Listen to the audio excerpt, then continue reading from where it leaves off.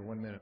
Thank you, Mr. Speaker. I, I want to explain my strong opposition to the Republican budget and strong support of the Democrat budget amendment because it offers a balanced approach that is fair to seniors, the middle class, and invests in the right priorities. I want to give an important example. My district is filled with people from all walks of life, teachers, entrepreneurs, nurses, who've worked hard and spent their lives earning the Medicare guarantee. They live with the comfort of knowing that if they get sick or injured, the health care they've earned will be there for them. I know this firsthand. My own mother beat cancer with the help of Medicare.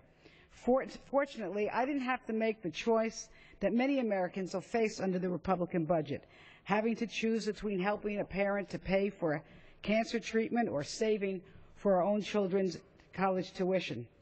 The Democratic budget, on the other hand, secures Medicare by stopping overpayments to insurance companies and incentivizing efficiency in our health care delivery. delivery.